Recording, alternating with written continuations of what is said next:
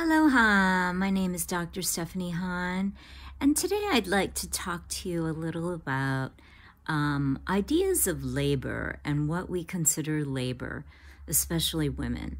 I think this is uh, a deeply important issue because often we are doing labor and it is not viewed as labor by those who are around us.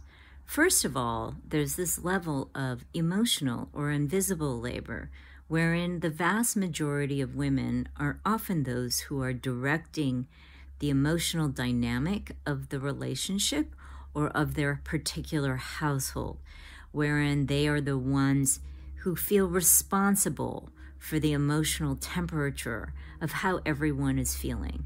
This takes a great deal of energy in terms of personal stress, um, you know, you have to be potentially more aware. You often put your needs uh, secondary to the other people who are inhabiting your household. So there's the invisible emotional labor, right? Second thing that women are doing that we often forget is labor is the stuff that's assigned as domestic tasks.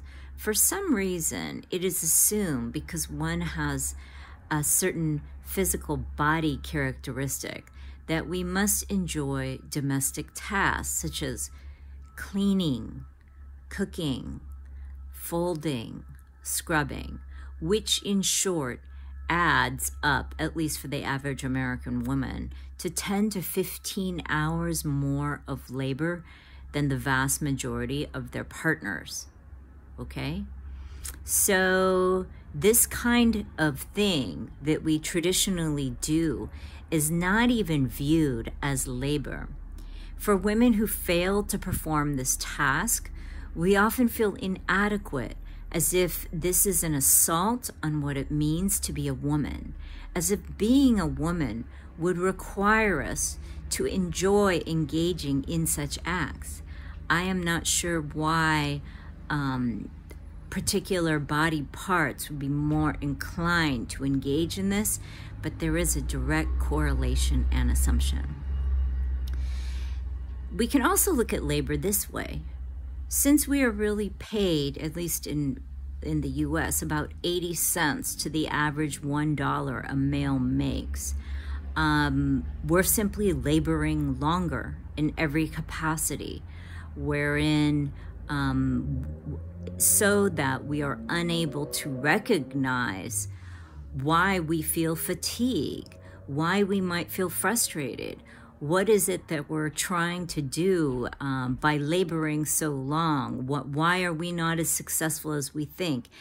If you are only making 80 cents to someone's dollar, you have to labor a lot more to simply even start on the same level playing field. There's no equity, right? So I'm just simply asking you in this YouTube video to think about all the ways that you labor. How do you labor emotionally? What do you do that you dismiss as, oh, it simply has to get done, but actually counts as labor? You know, sweeping the kitchen floor, mopping, scrubbing a bathtub, doing the laundry.